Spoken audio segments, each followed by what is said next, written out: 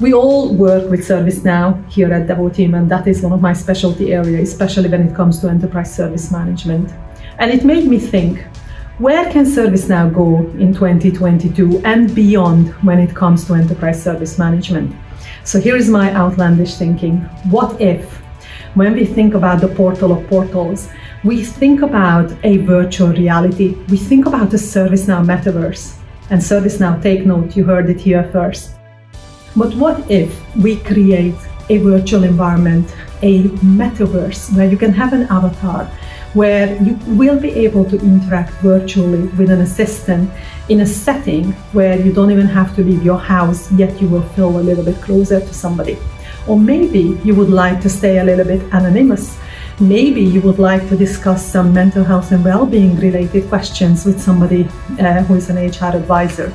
Maybe you just want to play around and understand how you can create a virtual onboarding for a staff member who is unable to travel to the office.